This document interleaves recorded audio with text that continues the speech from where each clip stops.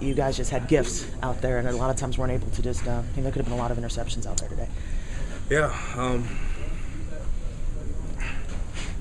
just same song and dance, you know. Um, for whatever reason, you know, the ball just didn't bounce our way. Um, Got to take advantage of the opportunities when they give it to us, and um, you know, we didn't do that. Jon, I mean, it seemed like an inordinate amount of balls thrown to you guys, though. It seemed like Palmer was off his game, and it just couldn't pull him in.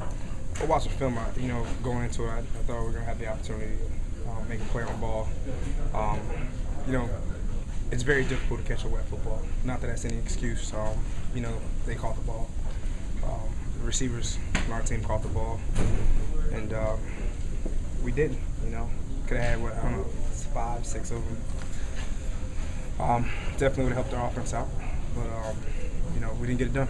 How tough is that? I, know you don't want to point fingers, but when you guys do get those turnovers, and then it goes right back to them, and you're back on the field. Your defense spent a lot of time on the field today. it doesn't matter what they do. Um, in my book, I mean, it really doesn't.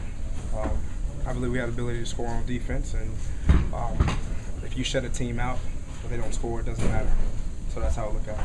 How important is it, though, Jon, uh, to stay positive uh, now? I mean, you, you, look at it and the, with the losses, and it, it's it's obviously important for you guys to, you know, keep that attitude up. And well, stay positive. You know, that's the uh, that's the sad part is uh, it's nothing that they're doing um, in particular uh, to beat us, um, and I feel that way about all three games. Um, you know, we just got to execute and um, stop shooting ourselves in the foot. As a leader on the team, what do you tell the guys this week in practice? Uh, same old. You know, you come back, you know, keep your head held high, and continue to get better. That's it, man. Just uh, you know, focus on you. What can you do um, as an individual to get better? And um, you know what? I think the end result will be different. Do you feel like you have to, you keep saying you have to keep saying that though because it's it's every week, it you know. That's what it is. Um, and you know, eventually we'll learn. And um, you know, this one really, really stinks. What do you think you can build on? The things that you or that you built on?